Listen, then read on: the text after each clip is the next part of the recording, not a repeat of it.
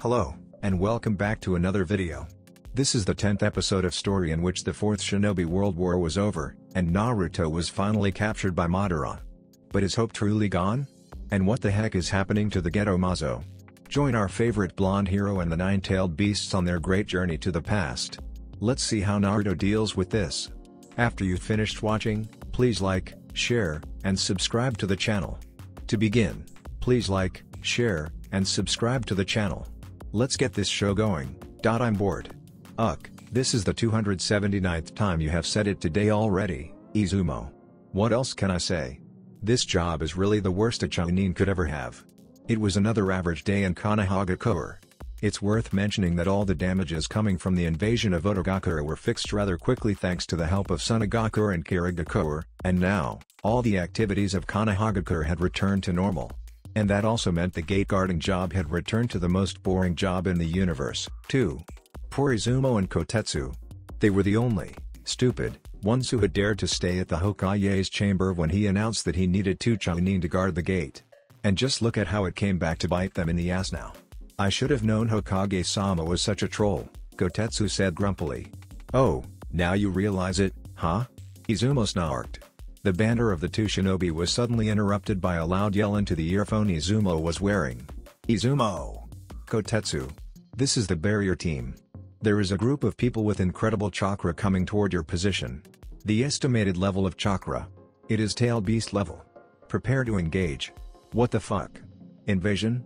Kotetsu exclaimed in shock. Impossible. There is no notice from the border of any people with that much power. Worry about that later, Izumo yelled, and brandished his weapon, a pair of giant kunai designed specifically for him. No matter what might happen, we cannot let them into the village. Cannot let whom into the village, Izumo? The two Chunin snapped their heads back upon hearing the familiar voice. Hokage-sama. Look clearly to see who are coming first, you two. Hiruzen Sarutobi said pleasantly, and pointed at the direction the group of people was arriving from. The two Chunin followed his finger, and gasped. No way. That is. The Hokage smiled. Welcome back, Team 7. It seems your mission was a success. What happened to her? Hiruzen raised an eyebrow when he saw Tsunade sulking at a corner of his office. Jiraiya shrugged. Well, obviously because of you. You're much younger than you're supposed to be, so. Everyone's sweat dropped and Tsunade sulked even more. Ones with good ears could hear her mumbling in her breath something sounded suspiciously like no fair and grandpa is a jerk and so. Well, the Hokage coughed, anyway, now that everything was settled, let's get to business, he turned to Fu. So, miss. Uh, um. M my name is Fu, S sir, Fu gulped. Being in front of such a great figure of power was a completely new experience for her. Hiruzen smiled. Don't be so tense, Fu-san. It's not like I'm going to kill you or anything. After all, Jiraiya had already told me a few things about you. Welcome to Konohagakure. We will prepare your accommodation soon. Now, Naruto, why don't you and your team show her around Konoha? As for you, Tsunade and Shizune, the Senju clan estate is always ready for the two of you. And please get ready for your job as soon as possible, there are many patients in need of your help. Alright, the Senju woman yawned. The Hyuga girl first. Huh?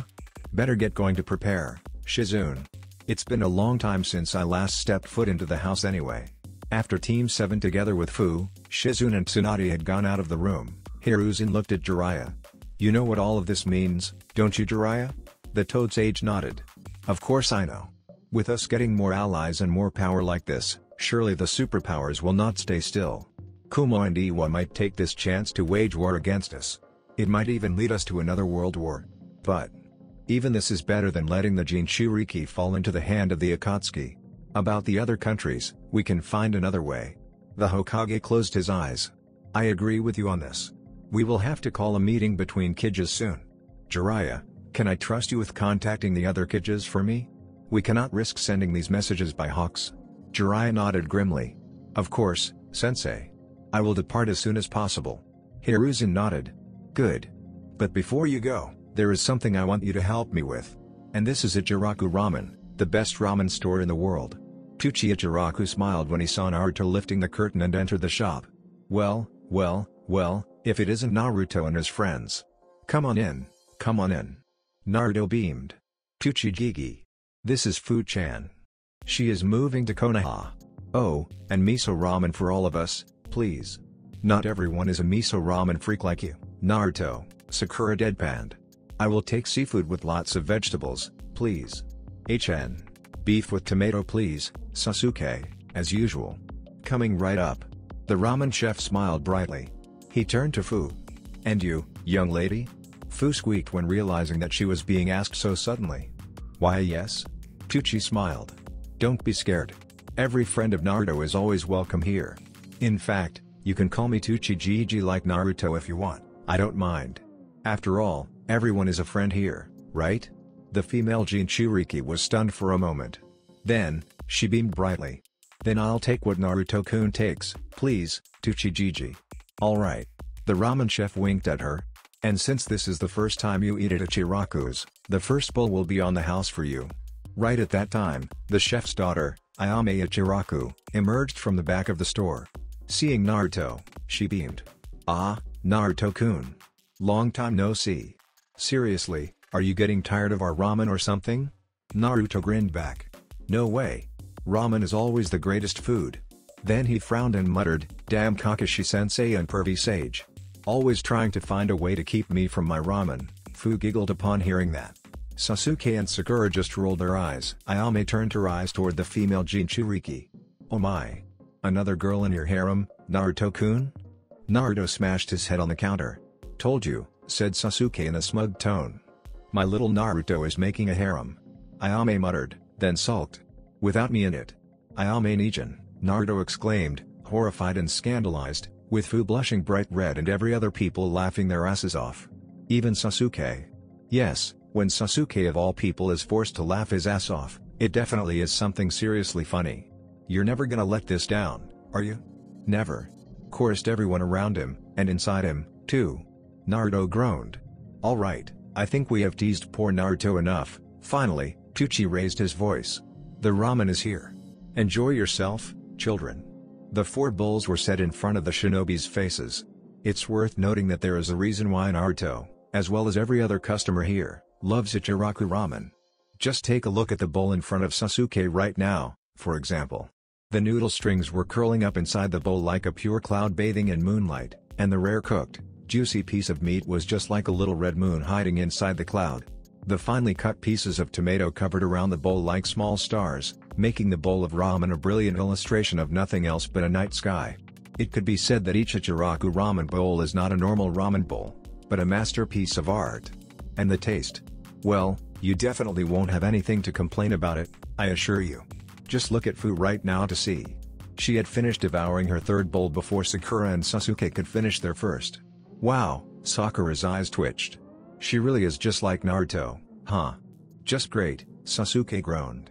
The last thing this village needs is another ramen addict like him. One more please. Chorus the two Jinchuriki next to them. Sasuke and Sakura face-bombed. Yes, they are alike. Who is he? Jiraiya looked at the unconscious man in the prison cell and asked. He is a soldier of Orochimaru Kakashi and Guy managed to capture during the invasion, Hiruzen explained. Before, when Kakashi temporarily sealed his chakra with the Five Elements seal, he was docile and harmless, but now... Well, you know what the Five Elements seal will eventually do to its victim. And we will have to unseal him soon if we want to keep him alive. The Toad Sage snorted. So why didn't you kill him already? He's Orochimaru's follower, one who had tried to wreak havoc in Konoha. Hiruzen shook his head. It was Kakashi himself who personally asked me to find a way to help that man. From what I was told, he has some kind of evil split personality in his mind, whenever he uses the power of the Ryudo clan he possesses, that split personality will immediately take over and turn him into a killing machine. Do you feel anything familiar in it, Jiraiya? Just like a Jinchuriki, huh? Jiraiya grimaced. Correct, Hiruzen nodded. And to be honest, after hearing that story, I also want to help him. From what Ino Yamanaka told me, he didn't seem to want to kill people at all. So I think a way to restrain that evil personality will be a blessing to him. I doubt he wants to remain a monster of Orochimaru after all. The two Konoha shinobi looked at the unconscious man for a while. Then Jiraiya said. This person is of the Ryudo clan, right? If he joins our shinobi force, he will be a very great asset for Konoha. Hiruzen raised an eyebrow. What do you take me for, Danzo? Jiraiya laughed. I'm kidding, I'm kidding. I know you will never do that. But what do you think we should do? The Hokage said grimly. I'm thinking of separating and sealing the dark personality inside him up. Without the influence of that personality, he can control the power inside him, and live as a normal human. So it means you have found a way to do that? You are even better than me at Fuinjutsu, right? Hiruzen nodded. Yes. But I can't do it alone. The seal required for this is so complex one person cannot complete it. But with you here, things will be different. The Toad Sage grinned. Then what are we waiting for? Juugo opened his eyes with a groan. The cold floor of a cell was not something unfamiliar to him. He had spent a large part of his life in the cell at Orochimaru's base. What's different was the two men standing over him, staring. Good morning, the seemingly older one of them, the one with white hair, smiled. Oh no. No. Get out of here. Leave me alone. Juugo's mind immediately went blank in terror. He screamed out, scrambling toward the other side of the cell. Please. I don't want to kill you. Now, see here. The man with the goatee said and walked toward him, but that only made Juugo bury himself even further into the wall. Get away. Don't go near me. I. Then he nearly jumped when the man's hand clapped down on his shoulder. Just calm down. Do you feel anything different with your body? I. Juugo flinched when he heard the man saying those words. That was true. There were people here, facing him. But he didn't feel anger, madness like he used to. How? Sorry, Ryudo-kun, the man said apologetically.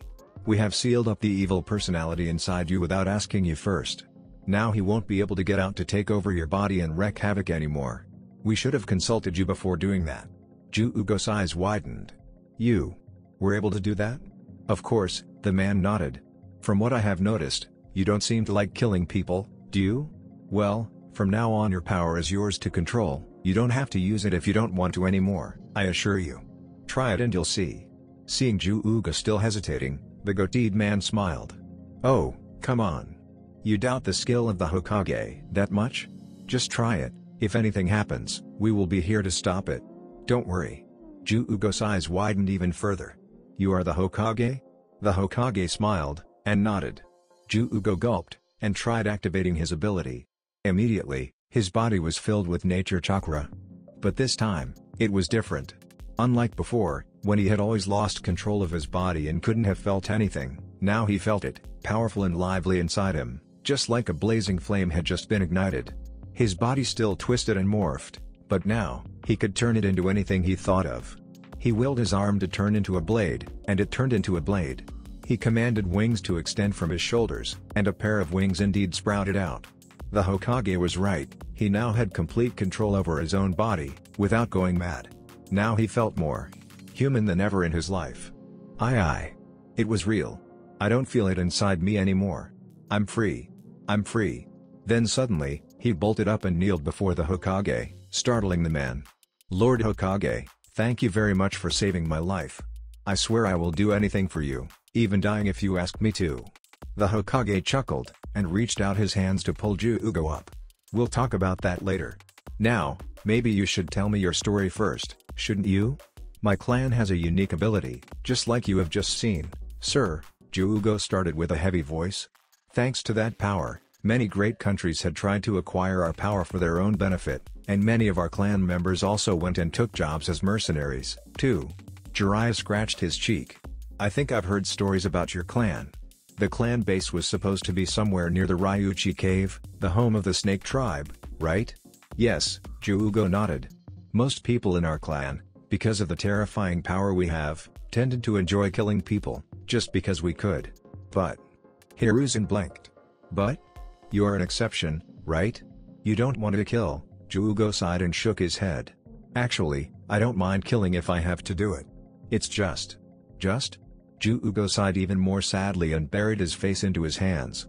When I first awakened my ability, I murdered my family. No. Mother. Father. Hotori-chan. What have I done? No. No. So that's why you. Jirai trailed off. Juugo nodded. That's right, sir. That's why I sought Orochimaru for help. I thought that with his power and knowledge, he might have a way to cure me of my problem. But instead. Typical Orochimaru, Jiraiya scowled. Never considers other people anything else than his tools. So. Well, after that, You already knew what happened, Juugo finished miserably.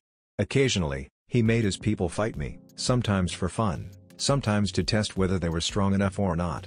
I've lost count how many people I've killed whenever I went berserk. At this point, Juugo couldn't speak anymore, tears started running down his cheeks. Then he felt the man's hand grasping his shoulder again. Don't worry about the past, the Hokage said quietly. Mourning about what happened in the past won't help you getting through your guilt. True, you have killed many people, but what you should do is working to redeem yourself, not moping around and running away from people. Protecting people, doing things that make people happy, that might be a good start for you, you know. Then he smiled, a bit more cheerfully. Oh, but why should we worry about that right now? Let's get you out of here first. Nico, can you prepare accommodation for him? Somewhere near the Hokage Tower is good. When Juugo followed the Anbu member out of his holding cell, free, with the Hokage walking right next to them like an equal, he couldn't help a thought popping out of his head. Konoha really is different, huh? Konoha really is different, huh? Fu marveled after her trip around Konoha. The village was totally different from what she had expected from a shinobi village. Sure, Takigakure was also a shinobi village, but it was nothing comparing to Konohagakure. Naruto beamed. This is nothing. There are many other good things about Konoha.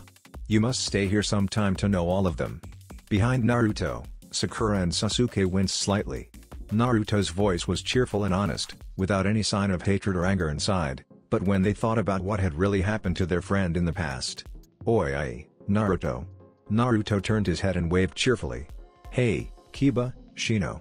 Is it true? The Inuzuka boy asked in his breath. Is it true that you brought Tsunade-sama back to Konoha? That Hinata can wake up? Naruto nodded, of course.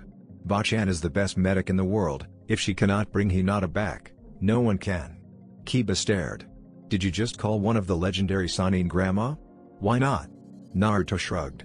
She is old, so she really is a grandma, you know. Kiba face-bombed. Naruto. Excuse me, Naruto, but who is that girl behind you? Naruto blinked. Oh, I almost forgot. This is. Hi. My name is Fu. Let's become friends. Kiba and Shino were startled when the beaming face of Fu appeared right in front of them. Ah. Uh, I was from Takigakure, Fu continued cheerily. Naruto-kun and everyone here saved me from the Akatsuki, and after that, our leader assigned me to come to Konoha to join you guys. So we are going to become comrades soon. Please take care of me. Kiba sweat dropped. She's weird. Who exactly are you? The question from Shino startled everyone. Ah. Uh, what do you? Sakura started, but the Aburame didn't let her finish. Never before have my breath-ins reacted like this, Shino raised his hand, and a bunch of Kikaichu from inside his body crawled out. Your chakra. It's incredibly strong, just like Naruto. But somehow, it doesn't make my Kikaichu afraid like Naruto's chakra. Rather, they love it and enjoy it, and somehow, they want to follow it. Just who are you? Instead of answering, Fu stared at the tiny creatures on the Aburame's hand. Ooh, are they bugs? I love them. Shino blinked behind his shade. Kiba gaped. A girl who loves bugs? Okay, now this is what I call weird. Who the hell is she, Naruto? Oi, don't be mean to her, Kiba. Naruto protested. She is my friend, and I trust her completely, believe it. Ah, now I see. Kiba's eyes widened in realization. So this is another girl in your... Blam. Not. Another. Word. Naruto growled after punching the poor Inuzuka boy in the face, making Akamaru sitting on his head fall to the ground. Sasuke snickered. Oh, shut up, team. You know, I can't understand why you still haven't admitted that you are building a harem, the voice of Goku from inside his head chimed in. It is too freaking obvious already. I am not building a harem damn it. Suddenly he felt Sakura's hand grasping his shoulder. Ah, Naruto, she whispered with a sweat drop. Even if you really didn't, now everyone in the town has already known it.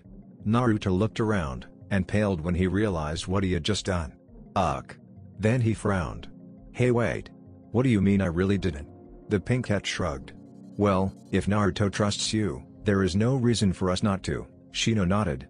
Welcome to Konoha, Fusan. My name is Shino Aburame, nice to meet you.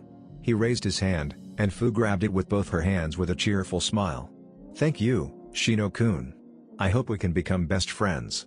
Had Shino not been wearing his usual jacket, Everyone would have been able to see his blushing face under the high collar. This village is getting weirder and weirder. Kiba groaned. Akamaru whined. The streets were always something alien to Juugo. Well, it was obvious, considering years of imprisoning in Orochimaru's base without being able to see the sun, and his madness. Walking around in somewhere with so many other people, looking at them talking, laughing and doing daily things like this. It made him feel more human than ever.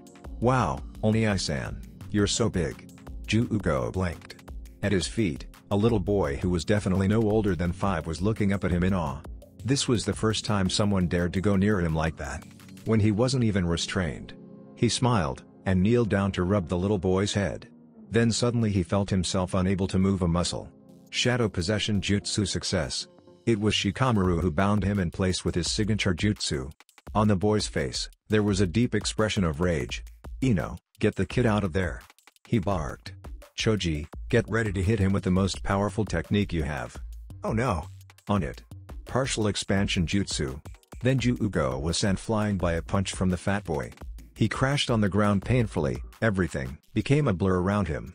He could only see a vague image of something very big starting to descend on his head. His instinct screamed at him to tap into his power, not to return fire, but to survive. But, what you should do is working to redeem yourself. No. He would not use his power. That would only prove that he was still the bloodthirsty monster who destroyed things on his whim. He would not use it, not to fight people in the village he was going to settle in. Not after that man, the Hokage, had helped him and put all of his trust in him. He closed his eyes, ready to take whatever was going to ram on his head. No. Stop. The scream rose so suddenly even Juugo himself was startled. What the? Ino, what are you doing? Everything in his eyes was still blurry, so he couldn't see clearly. But had he been able to do so, he would have seen the blonde girl of the group standing in front of him, her arms spread wide, preventing her teammates from attacking him. Just wait, the girl said, her eyes locked at the two boys. Ino, this is the monster who nearly flattened half of Konoha, don't you remember? The Shikamaru gritted his teeth. We have to stop him before it happens again. No Shikamaru, Ino yelled back. Don't you remember when I got into his mind? He tried to protect me from that monster. And his eyes right now are just like that time. You can't be serious. Shikamaru barked. If he destroys the village again, who will take the responsibility? I, Ino hesitated. Then she also barked, even harsher than the boy. But even so, you cannot just go and attack him like that. It's just wrong. He hasn't done anything wrong. Yet. Yet? Are you mad? He tried to destroy our village once, what makes you think he won't do it again? You know what Shikamaru? If you keep saying that, someone you know will be very sad. The sudden voice made everyone jump. Shikamaru's head snapped back. Asuma. Stand down, Shikamaru, the bearded man commanded. Shikamaru still looked like he wanted to protest, but a hand put on his shoulder immediately shut him up. The Jonin grinned with the cigarette still on his mouth. That man is not a threat to our village anymore. My father helped him, now he is able to live as a normal man in Konoha with us. Seeing Shikamaru still wanting to complain, Asuma's face hardened. Shikamaru, the Hokage himself has assured about his credibility. Are you questioning the decision of the Hokage? I, no. But. The Nara flinched. Ugh. Alright. So troublesome. He muttered. Choji breathed out in relief, and deflated himself. Obviously he didn't want to stumble into a fight like this, either. While the boys were talking, Ino walked to where Juugo was lying and pulled him up. Are you alright? Sorry for my teammates attacking you without asking like that. Juugo groaned and pushed himself up. No. It's alright. I was the one who attacked your village at the first place anyway. I'm sorry. Ino smiled. If the Hokage says you are a good guy now, then you are a good guy. I trust you. After all, this is not the first time I met you, right? Juugo also smiled back. Yeah. Well, that's that, Asuma smiled, throwing his cigarette away. Now, it's time for the barbecue party to celebrate Shikamaru's promotion, right? Juugo-san, if you want, can you join us? I'm sure my team will want to know more about you. He looked at the orange-haired man. Appalled, Juugo could only nod dumbly. Great. Then let's go. Ino smiled happily, and pulled the male's arm, as if they were already friends for a long time. Why are you all so nice to me? Juugo mumbled. I nearly destroyed your village before. Well, I'm not, Shikamaru muttered. Ino bonked him on the head, then smiled sweetly. I am trained in mind jutsu, Juugo-kun, she said. I was the one who met you in your mindscape, remember? It's just a quick glimpse, but I could still see your eyes, they were the same as they are right now. That's why I believe in you. The eyes are the very first things to look at when you want to know if someone is truthful or not. And. Suddenly she stopped, and blushed. And? Juugo blinked curiously. Uh-oh. Choji's eyes widened in horror. And. Ino's fingers started twiddling not unlike Hinata when she stood in front of Naruto. And you're kinda cute too. Let's just say that this was the first time in his life Juugo of the Scales knew how it was to blush. No way. That's. It's Tsunade-sama. Tsunade-sama is back. Wow. She looks much younger than I expected. Tsunade's eyes twitched irritably as she walked along the hallway of the hospital with Naruto next to her. Am I really that old? The Uzumaki boy deadpanned. Yes. Yes you are. Then he felt Tsunade's finger poking hard on his forehead. Ow. Just because I like you doesn't mean I tolerate you from being a cheeky brat, cheeky brat, the medic said dryly. Now, this Hyuga princess girl is in this room, huh? The pair had arrived at Hinata's room. Naruto nodded, and pushed the door open. Hiashi Hyuga wasn't there. In the room, besides the unconscious Hinata, there were Neji and Hinata's little sister, Hanabi. The poor girl must have fallen asleep while looking after her sister, because her head was now resting on the mattress next to Hinata, and her hand was holding her sister's hand. Looking at the girl, Naruto had to try his best to suppress a shudder.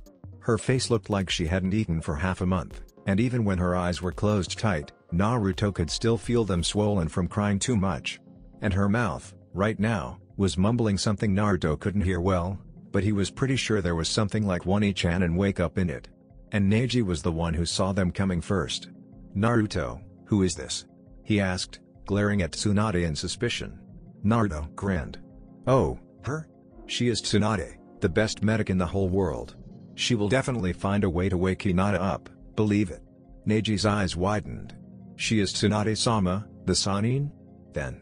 Now now, Tsunade scolded. I haven't even seen the girl yet, have I? She walked across the room towards Hinata's bed and put a hand on her body, starting to look for damages. Her face turned into a frown with each inch she scanned the girl. Then after finishing, she demanded with a rather cold voice. Who was the one who did this to her? An awkward silence covered the room. Then Neji answered in a heavy tone. It was me, Tsunade-sama. Tsunade's eyes narrowed. And you are? I am her cousin, milady. Suddenly a killing intent spiked inside the room like a raging flame. And the next thing the Hyuga boy knew was pain racking across his ribs as the legendary medic grabbed his collar and slammed him into the wall. Bachan? Naruto exclaimed in horror, but Tsunade didn't let him finish his sentence. She growled in a menacing voice. What in the nine layers of hell did you do that for, bastard? Do you know what you have done? I. Neji could only choke out those words upon the massive killing intent aiming at him. Right at that time, Hanabi woke up. She rubbed her eyes and moaned sleepily. Ugh. What happened? Then she saw Neji being held at his neck by a strange lady she had never seen before. Her face turned from groggy to horror. Wah. Seeing Hanabi waking up, Tsunade scowled. She turned to Naruto. Who is the Jonin sensei of this girl? Ah. Uh, Naruto hesitated. It's Kurenai sensei, but... Hearing that, Tsunade dropped Neji down mercilessly and with a whoosh, she disappeared from the room, leaving the three clueless children in the room looking at each other in fear and confusion. What just happened? Kurenai jumped when she heard a loud bang on her door. The first thing she thought of was that someone was attacking her house. She pulled out a kunai, and inched carefully towards the door. But then she jumped again when a voice screamed from outside. Kurenai Yuhi. Are you at home? I want to talk to you. Kurenai stared at the door as if hypnotized by it. That voice was, no doubt, of a woman. But except for Anko, what kind of woman was that rude? She hesitantly pulled the door open, and realized that she was facing a blonde woman with the biggest breasts she had ever seen. You are. Tsunade-sama. Yes, the woman, now I identified as Tsunade, answered curtly. So are you going to let me into your house or not? I have something to ask you about Hinata Hyuga. So that's what happened, huh? Kurenai nodded sadly. Yes, Tsunade-sama. After Neji attacked her like that, she couldn't wake up anymore. No one in Konoha knows why. Is there something wrong with her body? Tsunade shook her head. No, There is nothing wrong with her body. All the wounds are healed perfectly, I can say that her body is completely healthy now. The problem lies in her mind and soul. Kurenai blinked. In her mind and soul. Yes, Tsunade nodded gravely. Based on what you told me, Hinata has an inferiority complex. Years of expectation from her father, the little sister who is better than her in everything, and a cousin who despises her with all his heart, I'm surprised she hadn't cracked down for so long with all those pressures on her head. But now, after the cowardly action that very same cousin pulled to try to kill her after she had managed to overcome her fear and stand up against him. I'm afraid her hope and faith, together with her soul, was shattered. That's why her body is ready, but her mind simply refuses to wake up. Kurenai's eyes widened in horror. But that means, Tsunade sighed. Yes. Even I cannot wake her up, if that's the case. There is only one person in this world that has a chance of bringing her back. Tsunade pushed the door of Hinata's room open. But now, there were only Naruto and Hanabi there. Where is Neji Hyuga? She barked. Naruto looked confused. Ah. He just left a few minutes ago. But. Tsunade paled. Shit. We have to find him immediately, or else Hinata might never be able to wake up. What? Neji held the point of the knife at his stomach. Tsunade-sama was the best medic all over the world. And yet, considering her action, it must mean that there was nothing she could do. Even the legendary medic couldn't help him redeem himself. There is only one thing for him to do now.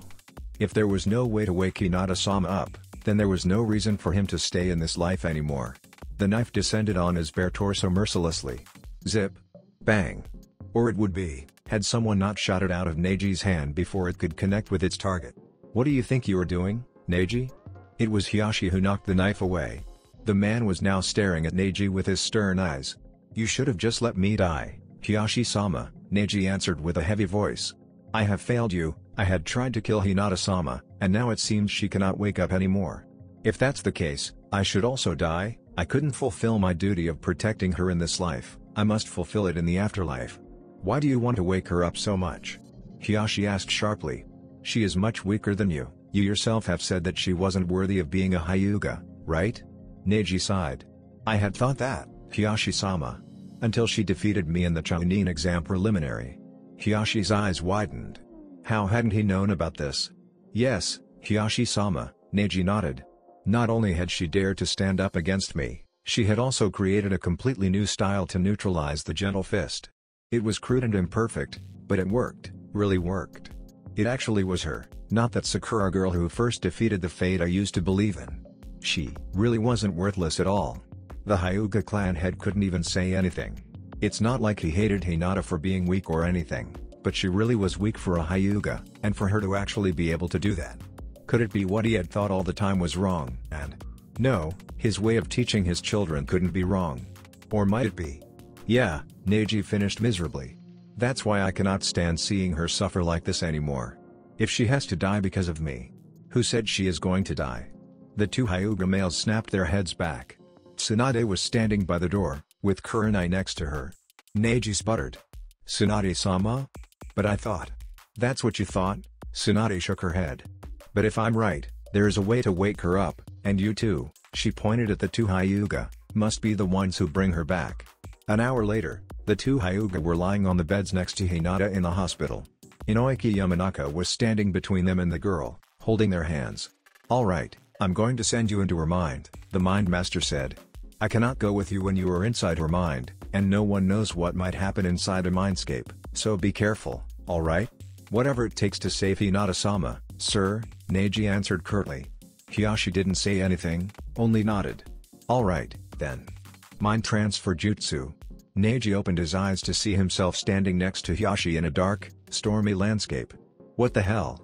He mused. The mind of someone like Hinata-sama can be this dark and eerie? It's not always like this. The two males jumped when the voice rose below them. They looked down, and saw. A rabbit, Hiashi stared at the tiny creature at his feet. The little critter leapt off the ground and kicked Hiashi at the head. Repeatedly. Ow. Ow. Ow. Why you little? Of course I'm a rabbit, you stupid old man, it snapped angrily. What's wrong with being a rabbit? Ow. Stop that, you little. If this was not a serious situation, the sight of the mighty clan head of the Hyuga clan being slapped at the head by a tiny bunny would be incredibly awkward and hilarious at the same time. Ah. Finally, Neji decided to break the awkwardness. Sorry for being rude, but what? Uh. Who are you? The rabbit stopped kicking Hiashi's head and said in a smug tone. I am Hinata-chan's mind guardian, of course. Hiashi blinked. Mind guardian? Of course. The rabbit snorted, sticking her, yeah, her, nose to the air. I'm the almighty mind guardian, the one who has protected Hinata-chan's mind. Yeah, what kind of mind guardian let her host fall into a coma like this? Neji muttered, but unfortunately for him, the one talking to him was a rabbit. And rabbits were just like cats, they had very good ears. Thwop. Q Neji being kicked at the head. You jerk-ass bastard. The bunny screamed while kicking furiously at the younger Hyuga's skull. It was you who did this to her. And now you go blaming me for this? Ow. Ow. Stop, please. I'm sorry. Wait, wait, Hiashi cut in. What do you mean Neji did this to her? What did he do? What did he do? The Mind Guardian screeched. When he nearly killed Hinata-chan in cold blood cowardly like that, he shattered her mind. I have managed to salvage most of the pieces, but the two biggest ones were still lost. Without them, even if she was able to wake up, she wouldn't be herself anymore. And that was your fault, your fault only. Neji's brain felt numb with each word. Then we will need to find those pieces of soul, right? Where is it? Hiashi suddenly asked. Who knows? The rabbit shrugged. They lie somewhere inside this mindscape, but if I knew where, I would have retrieved it already. Then we will go and find it. The Hyuga patriarch nodded and turned on his feet. Turned out finding Hinata's soul in a completely unfamiliar landscape was harder than they had expected. They had walked for nearly an hour, but there was no sign of what might have been Hinata's soul fragment. Everything they could find was a barren, deserted land spreading into the horizon. The two male Hyuga walked beside each other in silence.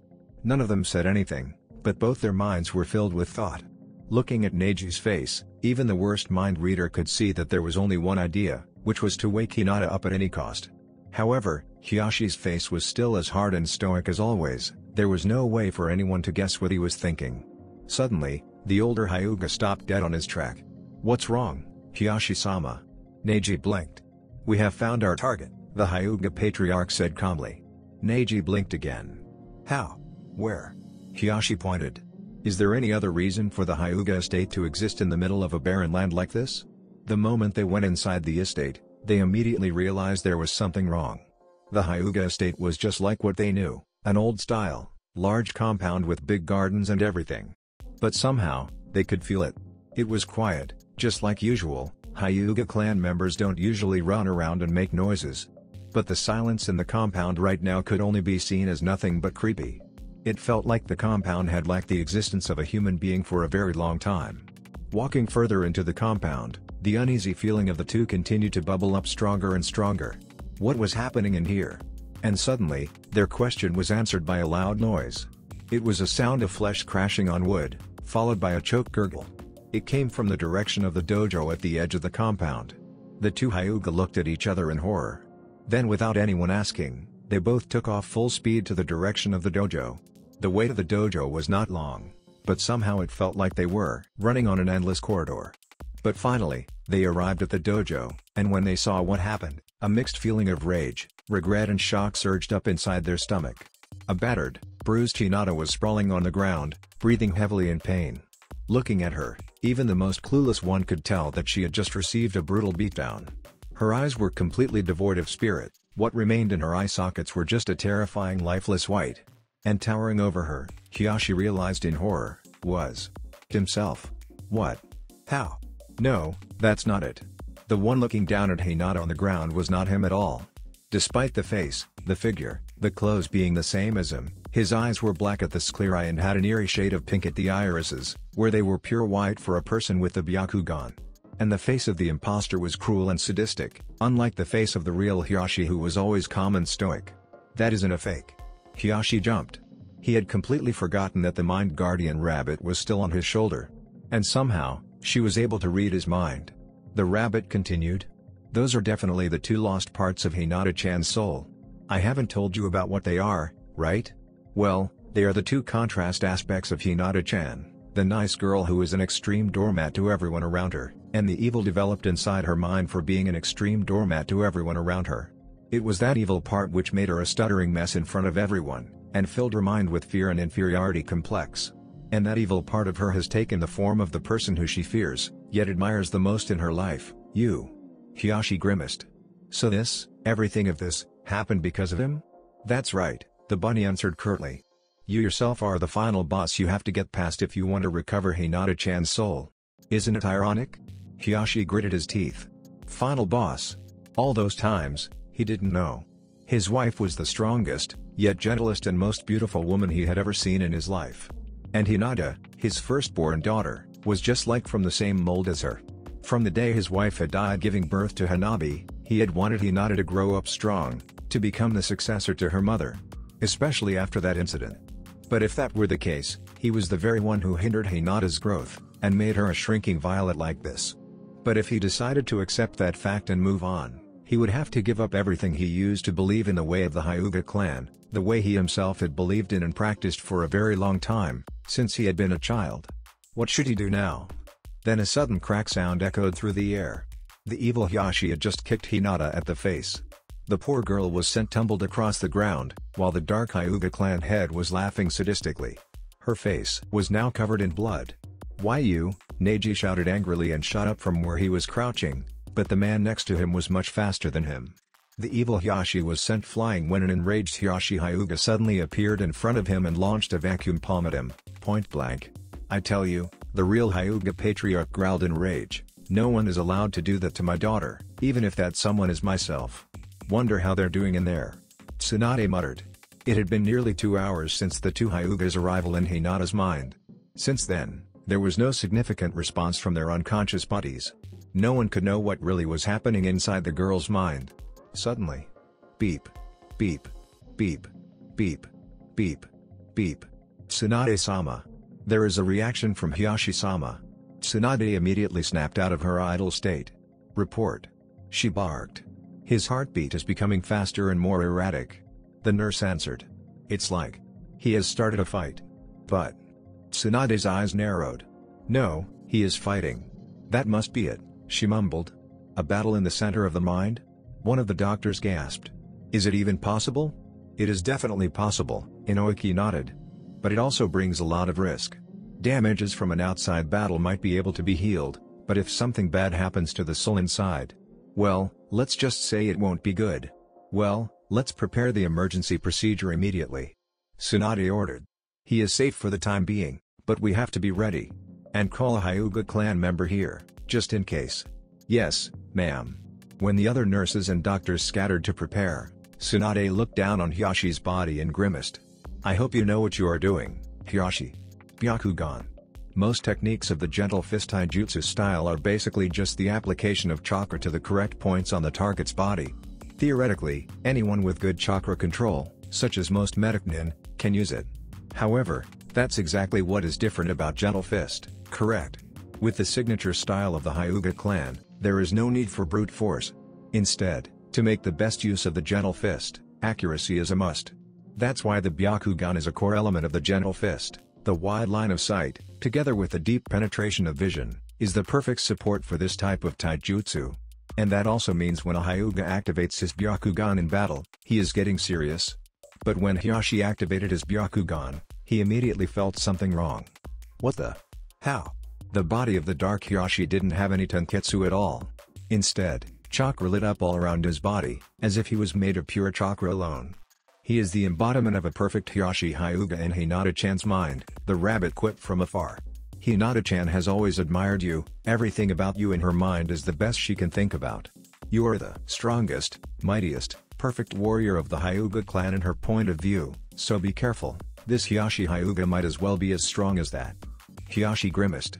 That's why his enemy didn't have any tenketsu. The gentle fist can deal significant damage to enemies by shutting down the flow of chakra through the tenketsu system inside the target's body. But if the target's body is made completely of chakra, well, let's just say even if there were tenketsu for him to shut down, they would just be forced open immediately. People tend to say that the most difficult enemy is yourself. And now he was going to face that most difficult people to get back his daughter. But, even when I treated her like that, she still admired me, loved me, thought of me as a perfect person. Hiashi's hands curled into fists. A drop of tear trickled down from his eyes. I really don't deserve this. Forgive me, Hinata. My daughter. His nails bit into his palm. He raised his fist, pointing it at the dark Hiashi. That's the reason why, even if you are more powerful than me, even if you are perfect, I still have to defeat you. To save my daughter. To redeem all the mistakes I have made in the past. He slipped into his gentle fist stance. Now, here I come. The dark Hiashi actually didn't even bother waiting. Right when Hiashi finished his speech, he charged at the man like a bullet, his palm lashed out, aiming at where Hiashi's heart lay, obviously aiming for a one-hit kill. But Hiashi Hyuga wasn't the strongest Hyuga for naught. Even if his speed wasn't as fast as his doppelganger, he still had the reflex and experience of many years of fighting in wars. Therefore, predicting the attack coming from one who used the battle style of the Hyuga clan, of himself, was very easy. He flicked his hand, deflecting the strike and lashed out his own hand, intending to return the strike to his enemy's own heart. But, with the Byakugan activated, Hiashi could see even things above his head. Oh, crap.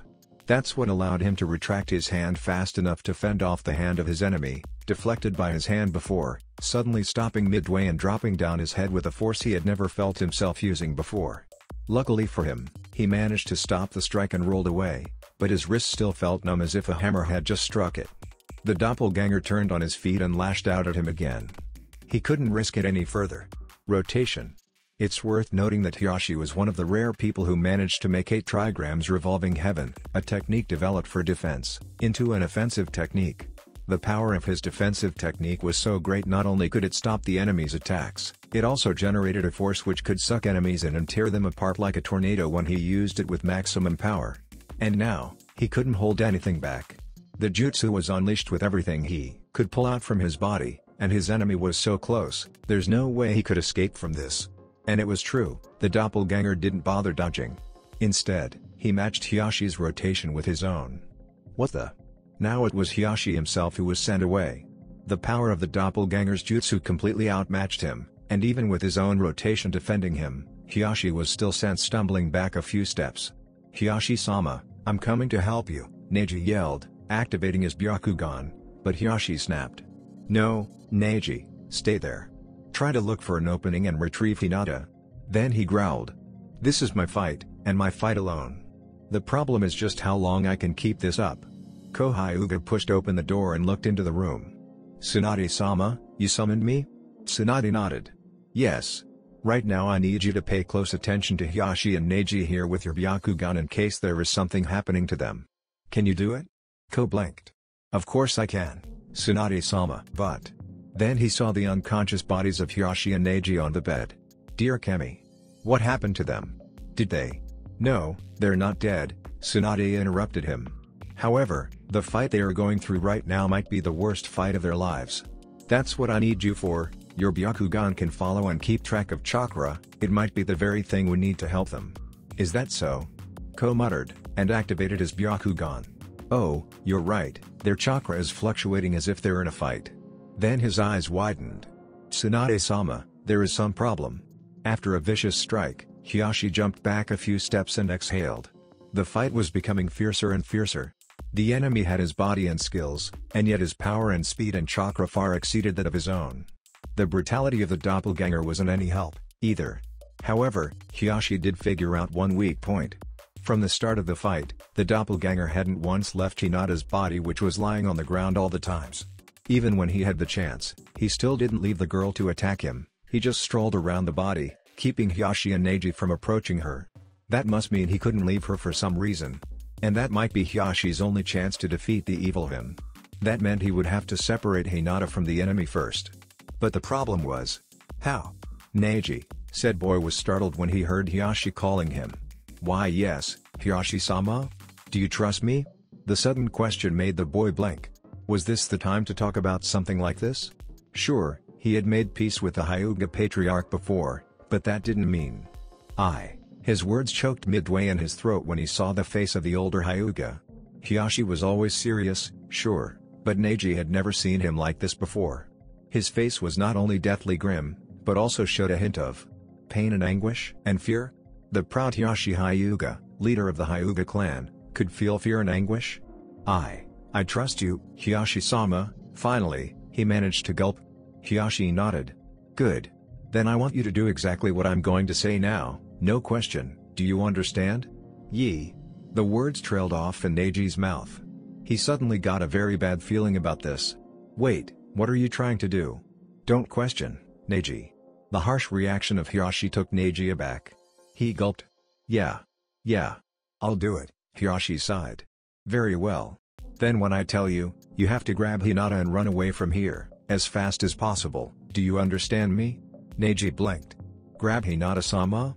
But... And realization dawned on Neji's face. He yelled. No, I can't do that. There is no way I'll leave you here too. But the boy couldn't finish his sentence, because Hiashi had already rushed the doppelganger again. The real and fake Hiashi once again traded blows, the flurries of gentle fist strikes coming from them had become more and more like two blurs. But that didn't make sense. Hiashi himself knew that it wouldn't work, his enemy was so much stronger, faster and more nimble than him, so why? Hiashi's fingers lashed out, aiming at the chest of the doppelganger. But the speed was just too mediocre, a mere flick of the hand was enough for Dark Hiashi to deflect the strike and send him back, straight into the open arms of Neji who was standing behind him. And Hiashi smirked. His fingers flipped into a one-handed ram seal. Wait, that is. Substitution jutsu. The thing at the doppelganger's feet which used to be Hinata's body was now Hiashi.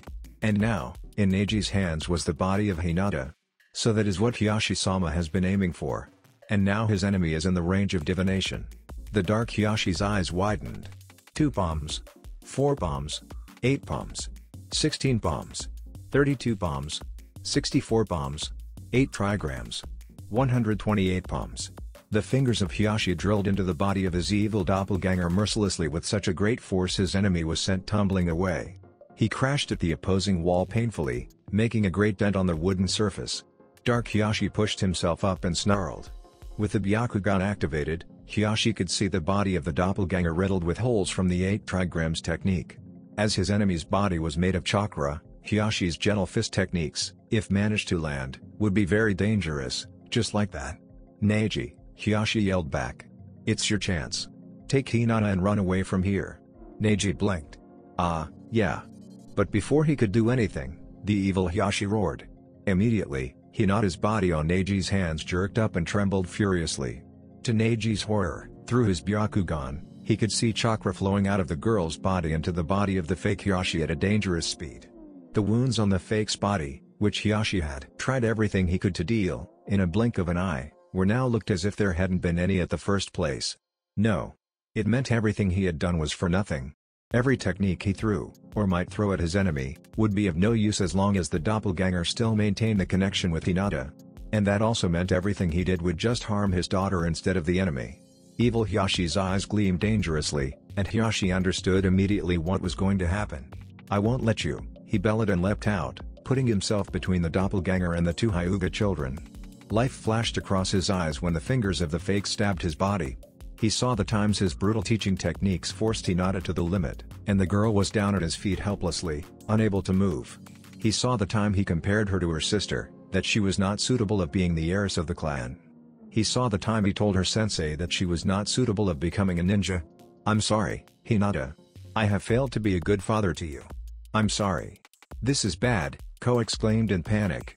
128 Tenketsu of Hiashi-sama were shut down. In this unconscious state, I don't think he can hold on. Tsunade's eyes narrowed. She said, Ko, can you reopen the Tenketsu on Hiashi? Ko bit his lips. I can, but only 64 of them, I'm not skilled enough to break open all the Tenketsu shut by the 8 trigrams 128 palms technique.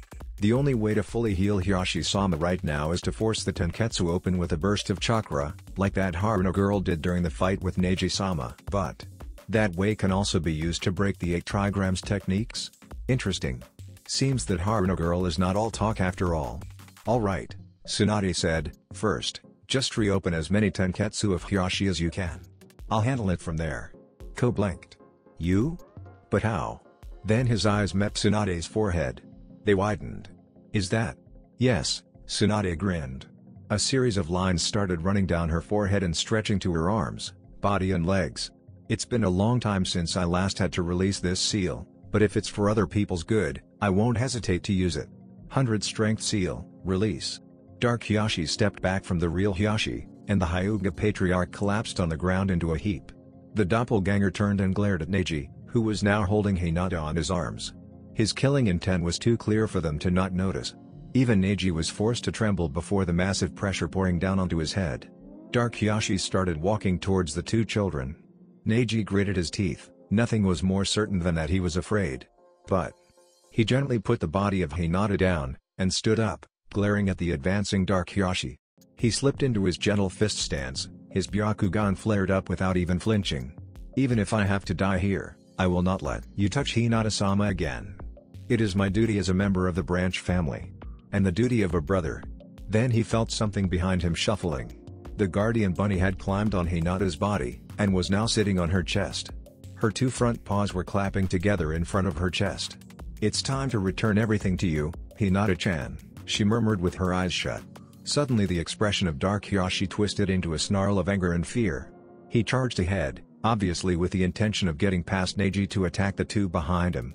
But there was no way Neji would let him do that.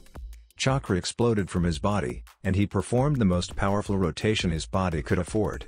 Taken by surprise, Dark Hiashi couldn't react in time and was sent flying back by the overcharged rotation. He backflipped a few steps, growled, and charged Neji again. A palm full of chakra and hatred lashed out towards the boy in an incredible speed. Neji managed to bash the hand away, but he couldn't expect the doppelganger to deliver a brutal kick to his stomach. He gasped and crumpled into the ground, and Evil Hiashi threw him into the wall with a loud thud. Leaving the defeated Hyuga boy at where he was lying, Dark Hiashi charged at where Hinata was lying, his palms glowing brightly with chakra. The bunny opened her eyes, and melted into Hinata's body. Immediately, the girl's body exploded in a brilliant flash of blinding light. The fake Hiashi was thrown away by the sheer force of the explosion, and Neji had to hastily deactivate his Byakugan and close his eyes to avoid being blinded. The light finally faded, and Hinata let out a loud gasp. At the same time, Dark Hiashi crumpled to the ground and held his chest painfully.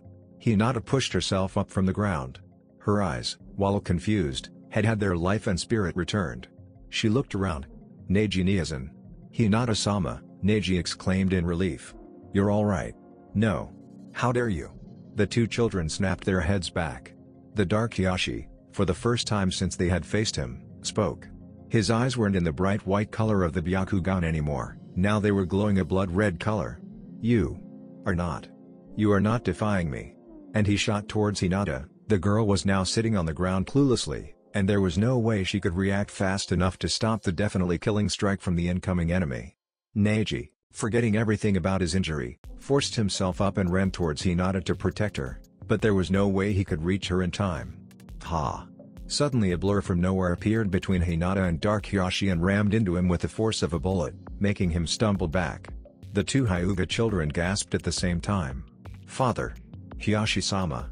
Hiashi was now standing firm in front of the two children, facing the gasping and snarling evil doppelganger with his usual stoic and stern expression on his face. The only different things were that there was completely no injury on his body anymore, and his fists were covered with two lions' heads made of glowing blue chakra. Are you two alright?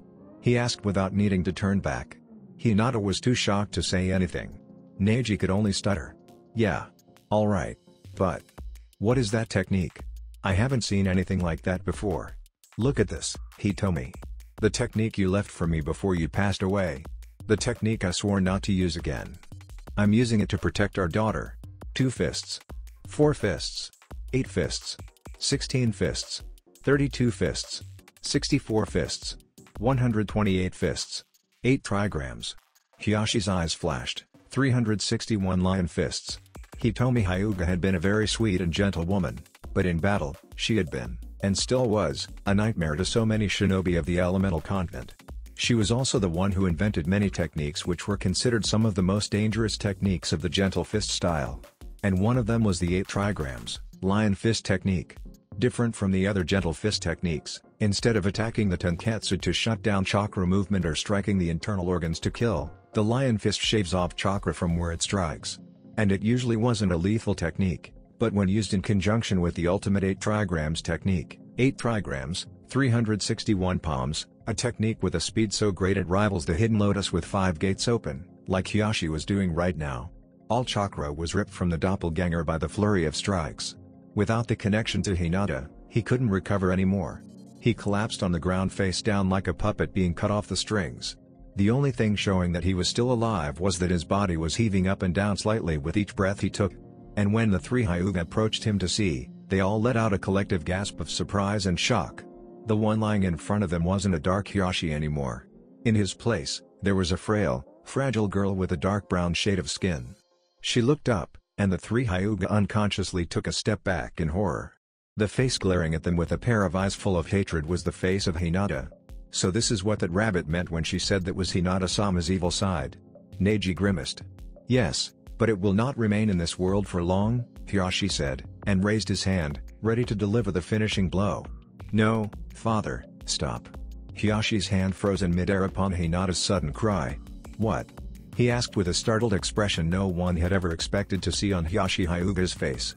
Instead of answering him, Hinata walked from behind him up to where her evil side was lying. She crouched down, and did something no one could expect, she pulled the evil her up and hugged her.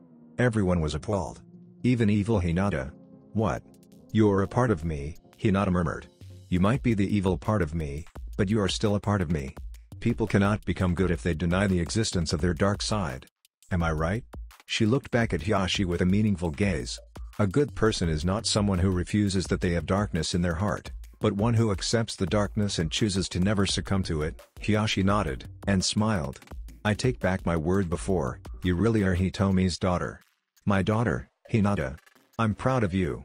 Hinata smiled brightly, the brightest smile anyone had ever seen her smiling. Then, she turned back to Dark Hinata, who was still staring at her in shock and surprise. So what do you think? Come back to me, please. She smiled. And before their eyes, Dark Hinata faded away into Hinata's body in a rain of glittering stardust. Hinata stood up and looked at her father and cousin. So I guess it's time for us to go back? And that's what happened. Everyone in the room listened to Hiashi's story with shock, fear and fascination. Even Inoichi, the specialist in human mind, had to marvel at the experience the three Hyuga had just gone through. Finally, when they finished, Tsunade said. Well, from what I saw, you don't have any noticeable injury, all of you. I think you all should go back home and rest. It has been a rough day for you. After all, she smiled at Hinata, there is a little girl who really wants to see you back, you know. The four Hyuga Boden walked out of the room, followed by the nurses and the assisting doctors. The Sannin stared at their retreating backs for a while and sighed. So in the end I was wrong all along huh? Don't say that Tsunade-sama, Inoichi, who was standing next to her, said. No one had ever expected something like this to happen. If not for you, Hinata might never be able to come back. You already helped her a lot, you know, Tsunade sighed. Yeah. Hopefully. I really don't want to admit this, but damn that Haruno girl. Helping people really does feel good. Sarutobi blinked when he heard the knock on his door. Come in. Then he smiled. Ah, Juugo-kun. Is there something you need? Juugo walked into the room and bowed. Hokage-sama. I'm here to tell you my decision. Is that so? The kind smile of the Hokage widened. I'm waiting to hear this. So, what is it? I. I can't believe I can live to see the day Kakashi-sensei being so generous. Alright, Naruto will not get to eat today. Aw, come on. The four members of Team 7 were sitting in Akimichi barbecue. Today was the day Kakashi invited the team to barbecue to celebrate Naruto and Sasuke's promotion. And Kakashi and everyone else had insisted that they were not going for ramen, making Naruto pout all the way to the restaurant. Alright, said Kakashi happily when the first round of meat arrived. We all knew what we're here for today already, right? Yeah, yeah, Sakura waved him off. To congratulate Naruto and Sasuke-kun on making Chunin in their very first exam. You already told us that. No one could miss the hint of dejection in the girl's voice. Kakashi chuckled, and reached out his hand to pat Sakura on the back. Don't be like that, Sakura. You don't have anything to be ashamed of. In fact, you're the one I'm proud of the most, not Naruto or Sasuke, you know. Sakura raised her head and blinked. Eh? But I didn't make Chunin. Is the rank really that important to you, Sakura? Kakashi asked slowly. I don't want to say this, but when we first started the team, you were the weakest member of the three of you. And now, look at you, you managed to outright defeat the strongest Shannon of the Konoha 12. Isn't that the proof that you have become much stronger, just as you told me you wish to? Kakashi's right, Sasuke added in. To tell the truth, at the beginning, I used to think that you were just an annoying, useless fangirl who came after me only because I was the last Uchiha. But now, I have no doubt that you are an important member of Team 7. My team. And. He tried to say something, then blushed and mumbled. Never mind.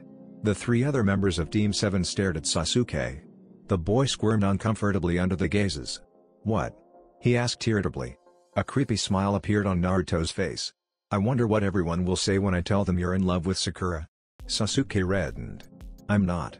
Sure you do, Sasuke, sure you do, Naruto echoed what Sasuke had said to him a while ago with a smug face. You. Alright, boys, that's enough, Kakashi said, reaching over to pry the two boys off each other. Today is your celebration, not the day you two kill each other. Now, to Naruto and Sasuke's promotion, and to Team 7's future? He said, lifting up a saucer no one knew when he had poured. The three children stared at what was lying on their teacher's hand. You want us to drink sake? Naruto asked incredulously. Of course. Kakashi answered cheerfully. You're old enough to become Chunin, you're old enough to drink. What? Naruto roared in disbelief. What kind of irresponsible teacher are you? We're only. He couldn't finish his sentence, as Sasuke and Sakura had pulled his collar and blocked his mouth by their palms. Of course, we're having that drink. Sakura answered cheerfully. After all, I want to try drinking sake once. Naruto let out muffled screams of protest behind Sakura's hand. Oh, be quiet, Sakura whispered angrily. This is our chance to see what is under Kakashi-sensei's mask. Don't you want to see it? Yeah, we'll drink. Sasuke also raised his voice, drowning Naruto's. But you have to drink it first. Is that all? Kakashi smiled, and lifted the saucer onto his mouth. His right hand started reaching for the edge of his mask, and Sasuke, Sakura, and even Naruto under Sakura's blocking hand, gulped in anticipation. He pulled the mask down. And Sasuke and Sakura fell down comically in disbelief. Under Kakashi's mask was another mask with a slit at the mouth for him to drink from there. What the hell? Sakura shrieked.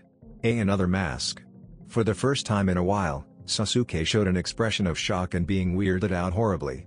I tried to tell you, Naruto mumbled in his breath. So? Kakashi I smiled again. Ready to try your first saucer of sake?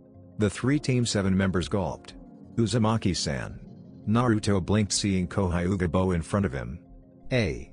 What's wrong Hyuga-san? Did I do something wrong? He asked nervously. Hiashi-sama wants to meet you, Uzumaki-san. He requests that you go see him at the Hyuga compound at once. Please follow me. Usually, Naruto would have protested about the arrogance of the Hyuga man, but his curiosity about what Hiashi wanted of him had defeated his annoyance. He nodded, and followed Ko to the Hyuga compound. Hiashi-sama. Naruto Uzumaki is here. From inside the room, the voice of Hiashi rose. Show him to me, Ko. A few seconds later, the door slid open, and Naruto walked into the room. Hi, Hiashi-san. What's up? Insolence. Next to him, Ko gaped, horrified.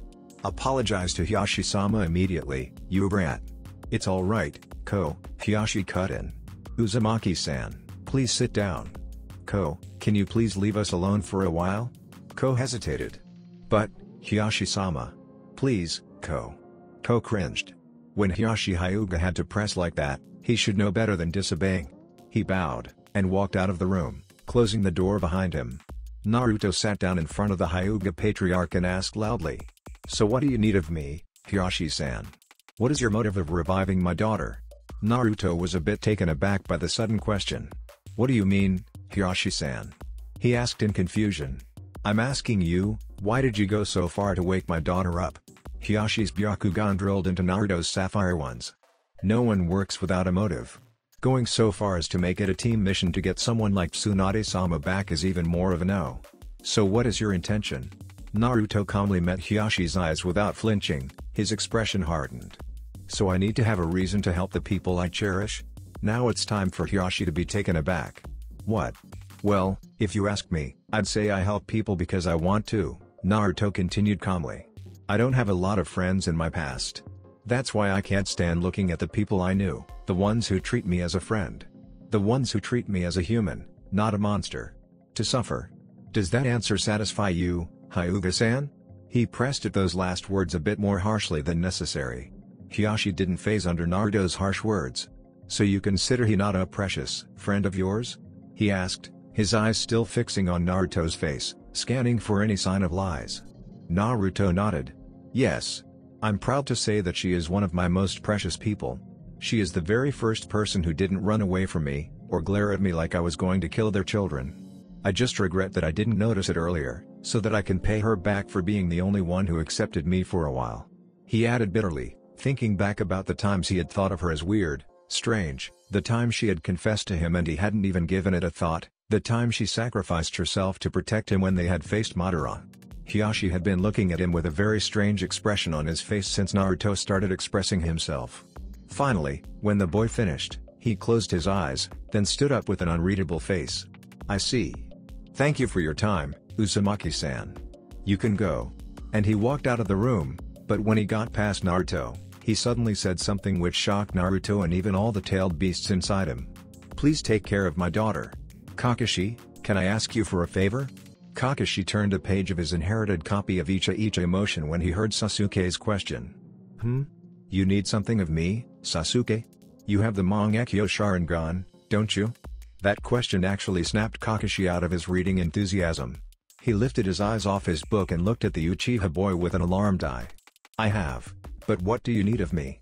If you are trying to look for a way to gain it. No, no, Sasuke shook his head hastily.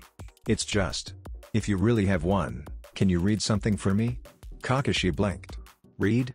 A few minutes later, the two shinobi were standing in the secret room of the Naka Shrine, the stone tablet of the Sage of Six Paths lying in front of them. Are you sure about this, Sasuke? Kakashi asked warily. This is the secret of your clan, I don't think I have the right to intrude. Sasuke shook his head.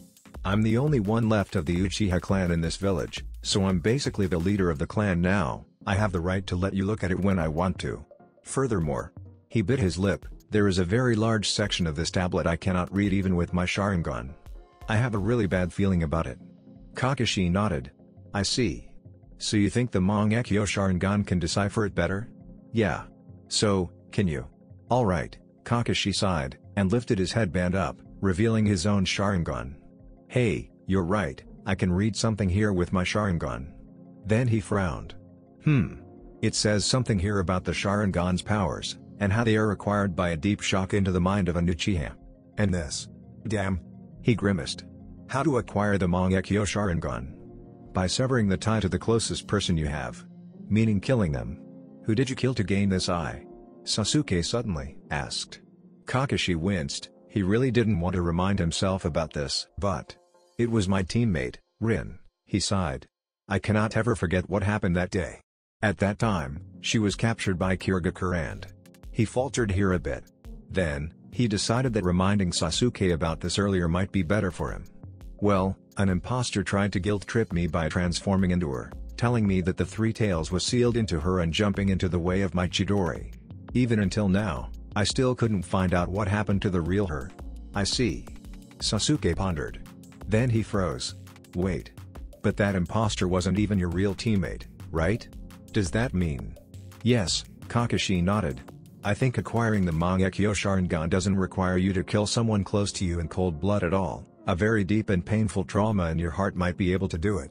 But I still wish you would never get it at all, having a trauma of that scale is not a nice thing to face at all, you know. And I think what Itachi told you had some truth in it, after all, killing someone close to you is the easiest way to have a great trauma in your mind. Yeah, Sasuke snarked. I had watched my family, my clan being killed right in front of me, I wonder what might be more not nice than that? Kakashi shook his head. You can't know it yet, Sasuke. Maybe someday, when you grow up a bit more. You will understand there are things even worse than death, even worse than fear. But oh well. Now it's time for our main work. Mangekyo Sharingan. Kakashi's eye twisted and morphed into the pinwheel shape of his Mangekyo Sharingan. The lone opened eye widened immediately. Wow. It really shows a lot more than what I read with my normal Sharingan. I wonder how the creator of this tablet could make it like that. What does it say? Sasuke asked, thrilled. Let's see, Kakashi said, narrowing his eye to see clearer. In here, it says that the awakening of the Mangekyo Sharingan is the very proof of the curse of hatred in an Uchiha's heart. It says that the Mangekyo Sharingan's power is based on the deepest desire in the user's heart. I don't quite understand this. I don't know many Mangekyo users anyway. Itachi has Tsukuyomi, the ultimate genjutsu, as the powers of his Mangekyo, Sasuke guessed. Maybe that was because he wanted to hide his real self from other people? Maybe. But. That can't explain my Kamui power. Unless. Kakashi pondered, then grimaced. Never mind. Moving on, he continued, it states that each use of the eye's power will shave away the light of your eyes. Damn. So that's why I felt kinda dizzy in my left eye after I used Kamui. He winced. Each use of the power. Sasuke grimaced. So it means that if your eye is overused, it will eventually go blind. And Itachi's eyes too. It seems so, Kakashi nodded. But hmm. In here it also says something that if the two sibling pairs of eyes become one, the inextinguishable light will be restored, stronger than ever. And it notes some kind of ritual here. Maybe this is the way of recovering the eyesight after becoming blind? Maybe. Sasuke bit his lip. But those two pairs of eyes becoming one words, they feel disturbing. It sounds like we have to kill our brother and steal his eyes to gain back our own eyesight. That's just inhumane. So that's the way the Uchiha clan gained their power? By murdering their own kind? That is the true face of the clan my father had told me to be proud of, to follow their footsteps? He spat out in pain and shame. Kakashi couldn't say anything. He only reached out his hand and squeezed the Uchiha boy's shoulder in silence. Then, after a while, he pulled down his Hitae to cover his Sharingan and said. So, should we go? I think I should go to Tsunade-sama. Even if there is no way to prevent the deterioration from happening completely, I think she might have some way to at least do something about it.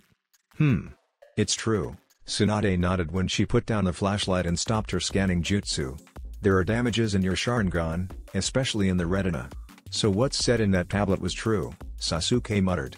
The curse of hatred will take away the light of the ones who abuse the power of the Mangekyo Sharingan. Tsunade pondered in thought. Hmm. I'm not completely sure, but... Tell me, what is the power of your Mangekyo Sharingan anyway, Kakashi? Kakashi blinked.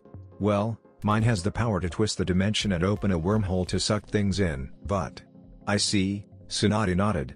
And you told me that Itachi's Mangekyo had the power to put people in a deep, powerful genjutsu world in which he could control everything? She looked at Sasuke. The boy nodded. The medic nodded and closed her eyes. That confirms my suspicion. You see, this is a theory I come up with based on what you told me, and the state of your eye right now, Kakashi. First, take a look at this. She grabbed a scalpel on her desk. What do you think will happen when I channel chakra into this? It will become stronger and can help us channel jutsu from them. Sasuke, who had learned about this from Kakashi, answered immediately. The Jonin also nodded in confirmation. Tsunade nodded. Alright. Well, then what will happen when much more chakra is channeled into this than it can handle? I see what you're going there, Tsunade-sama, Kakashi's eye widened in realization. You mean that just like this scalpel, if I use this power too much, more than this I can handle, it will eventually be damaged and break down? Exactly, Tsunade nodded. Those powers you told me that the Mangekyo Sharingan can use are all incredible powers. However, this eye of yours, as well as other Sharingan, cannot handle such powers in their normal structure. So eventually, with each use, the eyes will be damaged and your eyesight will deteriorate until there is nothing left. When you go blind. But if there is a ritual that combines two pairs of Sharingan together, they will have the necessary structure to handle the power of the Mangekyo Sharingan, so they will not be damaged when harnessing its power, right? Sasuke finished. Correct, Tsunade confirmed. Now, about your eye, Kakashi, I might not have a way to completely prevent it, but I can still find some way to temporarily fix it after being damaged from usage. But you need to give me some time first. While I'm finding the way, you must restrain yourself from using the power, do you understand me? Kakashi nodded. Yes, ma'am. Good day to you, Tsunade-sama, and thank you. The two males bowed and walked out of Tsunade's room. When walking in the corridor, Kakashi suddenly said. You are thinking about something, are you Sasuke? The Uchiha boy looked at the Jonin in annoyance. Am I really that obvious? Kakashi chuckled. Nah. It's just that I'm becoming very good at reading people. So, what's bothering you, my cute student? Sasuke pursed his lips. It's just. I'm thinking about Itachi. He has been using his Mangekyo Sharingan for a long time. So if he doesn't have any way to fix the damage. Kakashi clapped Sasuke's shoulder. Don't worry, Sasuke. Itachi is a genius. He isn't powerful only because he has the Mangekyo Sharingan, I believe that he understands not to abuse it too much. After all, he is not really an evil monster at all, We will eventually find some way to get him back to the village, right? Sasuke looked out the window. The sky outside was getting dark. Yeah. I hope so. What does Jiji want of us anyway? Naruto asked his teammates in confusion. Sakura and Sasuke shrugged. The last night, Jiraiya had come to Naruto's house and told him to go to the Hokage Tower for a meeting the next morning. And it seemed all of his teammates were told to do that too, because on his way here, he had met Sakura and Sasuke also going to the tower. It was fun teasing them when seeing them walking with each other, too. It's kinda weird. Normally, a meeting of the Hokage with a team should be done in his room, right? So why are we going to the rooftop? Sakura also voiced her own question. Naruto shrugged. Who knows? Maybe it's for a big mission or something? Sasuke answered him with a HN. The team arrived at the door opening to the rooftop, and Naruto pushed it open. Hey Jiji. What's going on? Here. Naruto's voice trailed off when he saw not only the Hokage there, but also every one of the Hokage 12. Hearing Naruto's voice, Hiruzen, who was leaning on the rail looking around the village, turned back and smiled brightly. Ah, Naruto and his team. Come here, come here. We've been waiting for you. So, since all of you are here, we can start. Sir, yes, sir. When everyone was in their places, Hiruzen started. I guess you are all asking what I called you here for, right? Considering you gathered everyone, it must be something that requires all of us to know and do, Shikamaru said. But since there is no Jonin leader here, it can't be a team mission, so it can only mean you are going to announce something to us, right? The Hokage chuckled. As sharp as always, Shikamaru. Yes, today I'm going to announce to you. The formation of Team 11. Come in, you three. The door opened once more, and from there walked in three other people. Naruto only needed a quick glance to realize two of them. Karin-chan. So that's why you left home early today, huh? And Fu-chan too. The two girls beamed brightly. Then Naruto's eyes met the large man who was walking next to them. You're. The man bowed at him. You must be Naruto-san. My name is Juugo, please help me in the future. Juugo. Ju Ugo. Why does that name sound familiar?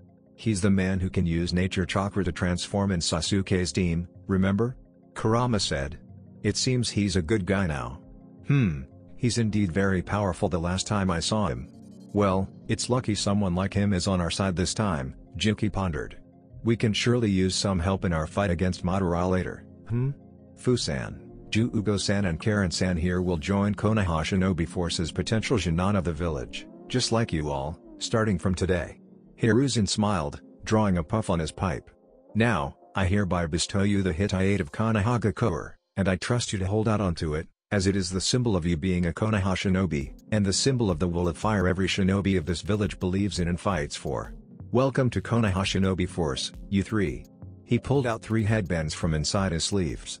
The three new shinobi of Konoha took them from his hand, even with the steel surface, the bands felt warm on their hands, and when their fingers closed around the gear, it seemed to send something into their hearts. Pride, maybe? Um. Hinata raised her hand. Hokage-sama. But if they are a team, they must have a Jonin sensei, right? So. Ah, don't worry, Hinata. Their Jonin sensei is right here, everyone snapped their head to where the new voice had just risen from. Kakashi and all of their Jonin sensei were standing there from who knows when, waving at them. At their feet was a purple-haired woman who was hogtied and gagged and was struggling like mad to escape. Team 11, the Hokage finished. Meet Anko Mitarashi, your Jonin sensei. Anko sensei? Sakura gaped. Why was she bound and gagged like that? When she was announced her promotion by my father, she immediately bolted from the room, Asuma explained. Man, that girl sure is good when she wants to run away. You know. It took all of us here just to find where she was hiding. Yeah, Guy nodded enthusiastically. And I've never seen anyone fighting back so youthfully, either. She really will make the most youthful Jonin ever. From behind her gag, Anko mumbled a muffled protest. Jiraiya was walking on the trail in the desert leading to Sunagakure. The sun was blazing brightly and hotly above his head, but it was nothing. He had done many trips like this before in his life. Suddenly, he jerked his head up and looked at the sky. What is this bad premonition I'm feeling? A dark cloud lazily drifted across the sky, hiding the sun from view for a brief moment. That's it for this video. I hope you all enjoyed the video. Don't forget to like the video, subscribe to the channel, and follow me on my other social media accounts. Anime God here, and I'm signing off.